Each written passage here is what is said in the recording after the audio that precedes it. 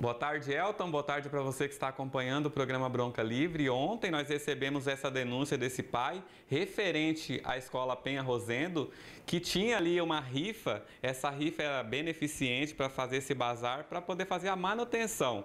E eu vou conversar agora com a secretária. Primeiramente, secretária, vocês tinham conhecimento dessa, dessa rifa que estava sendo feita nessa escola municipal? Não, nós recebemos também um bilhete, né, pedindo um esclarecimento do que se tratava essa manutenção. Então, nós recebemos essa, essa, esse questionamento e entramos em contato com a gestão, né? Por que da palavra manutenção? Né? O pedido de doação para fazer um bazar para a escola e por que manutenção?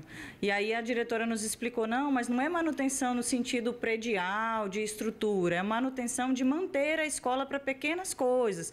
Até ela citou um exemplo, por exemplo, ontem quebrou uma chave, então a gente precisa de uma verba rápida para trocar pequenas coisas. Então, para manutenção da escola. Aí eu até expliquei para ela que isso né, ficou de uma, de uma forma equivocada no bilhete, foi entendido por algumas pessoas de forma equivocada, porque a manutenção maior, né, predial, estrutural, é realmente feita pelo poder público, por nós, pela secretaria. Inclusive, a Escola Penha Rosendo passa agora, dá início a uma reforma elétrica geral, né, para a organização estrutural elétrica da escola e também já a equipe da engenharia fazendo o processo, daí o projeto de troca de todo o forro e todo o telhado da escola. Então, esta manutenção, como a gente olha assim que lê a palavra, né? Na, de total, de ampla, né, de amplitude de manutenção, ela está sendo feita assim pela secretaria. E o intuito da escola, nesse momento, em arrecadar esse, esse dinheiro com esse bazar, é para essas pequenas coisas que surgem no dia a dia da escola. Né? E geralmente, quando as, a escola propõe essas rifas, esses movimentos na escola, é também em comum acordo com a comunidade. É falado sobre isso nas reuniões de pais, é conversado com o conselho escolar. Então, são para essas pequenas coisas de, de que mantenham é, os ocorridos rápidos da escola.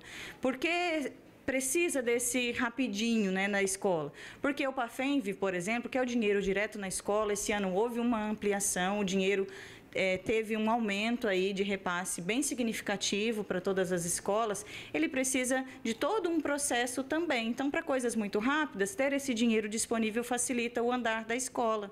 Né? Então, esclarecemos sobre isso, ficou de forma tranquila, até porque essa parte maior tem sido feito sim pela secretaria e dá para a gente acompanhar aí com os processos já encaminhados de licitação. E como que anda a reforma dessas escolas? Nós sabemos que nós tivemos dois anos de pandemia, né? Muitas escolas passaram por dificuldades, até mesmo com a merenda escolar. Como que anda tudo isso, esse processo de merenda escolar e de reforma das escolas? Nós temos aí grandes desafios, grandes mesmo. Nesses últimos sete meses em que a gente tem se organizado para cuidar das escolas, a gente pôde mapear aí imensos desafios. Alguns deles de forma predial, mesmo estrutura física, vários deles nas questões elétricas, que é o que a gente tem feito. Então, nós temos já três subestações instaladas e mais sete em processo né, de execução. Tudo que demanda aí tempo para cuidado, mas a gente conseguiu dentro do nosso planejamento, mapear todas as estruturas da escola estamos encaminhando com a equipe da engenharia todos os processos para poder cuidar delas. Né? Alguns 21 obras já em andamento e outras em processos de, de planejamento da, da parte é, de planilha, né? da parte elétrica, com o nosso engenheiro elétrico, planilha predial. Nós temos aí o Dariano à frente da equipe de engenharia para que a gente possa materializar essas reformas de todas as nossas 30 escolas.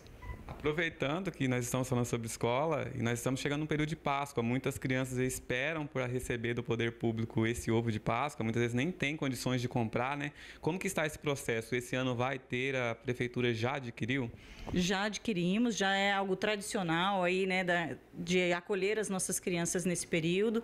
Nós já tínhamos encaminhado o processo, os ovos já chegaram à secretaria. A partir de segunda-feira a gente já começa a entrega aí, iniciando pelas nossas escolas da área rural. Então todos os os nossos alunos da rede municipal e também da APAI irão receber os ovos de Páscoa como, como, como tradicionalmente já tem ocorrido.